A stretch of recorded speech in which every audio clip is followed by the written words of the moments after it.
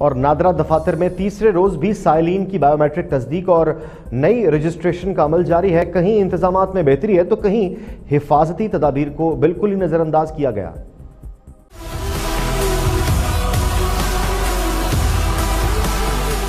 एहसास कफालत प्रोग्राम के तहत बायोमेट्रिक तस्दीक और न्यू रजिस्ट्रेशन के लिए नादरा मेगा सेंटर में तीसरे रोज भी साइलिन की बड़ी तादाद पहुँची। मेगा सेंटर के बाहर सड़क को बैरियर्स लगाकर ट्रैफ़िक के लिए बंद कर दिया गया। साइलिन के बैठने के लिए कनाते लगाकर कुर्सियाँ लगा दी गई। नादरा मेगा सेंटर के अंदर 500 और बाहर 300 कुर्सियाँ लगाई गई मगर कुर्सियाँ लगाते वक्त समाजी फासले को नजरअंदाज कर दिया गया।